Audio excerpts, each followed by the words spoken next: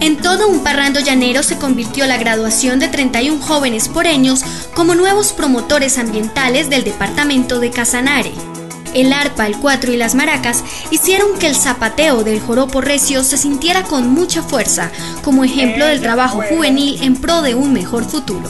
Yo quiero que mi municipio sea más limpio, eh, cero basuras. Mi proyecto es eh, hacer un compost con hojarascas de árboles. Eh, estoy estudiando promotoría ambiental comunitaria pues para ayudar a mejorar mi municipio, para ayudar al medio ambiente y para que seamos mejor en un futuro.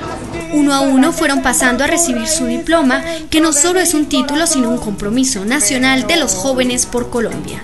Ya hoy ustedes son promotores, líderes con capacidades para organizar su comunidad en torno a la construcción de un ambiente sano y sobre todo al ser y al actuar con ética y responsabilidad frente a todos y cada uno de esos recursos que el ambiente nos proporciona para que podamos vivir y estar aquí.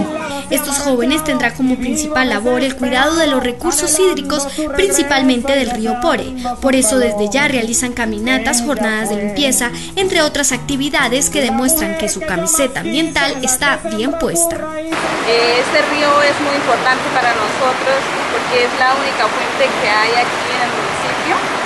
Este, esta agua que lo utilizamos nosotros aquí la población.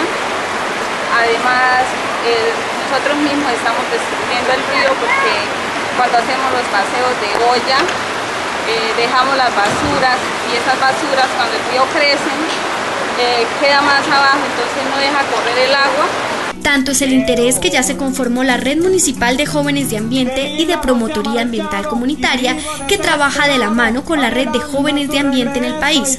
A través de este grupo ya se han formulado ocho proyectos socioambientales. Más historias y capacitaciones como estas se siguen replicando en muchos municipios del país, en donde con la inversión de la empresa privada y la asesoría del Ministerio de Ambiente se hace posible que las nuevas generaciones sean conscientes de su compromiso con el planeta.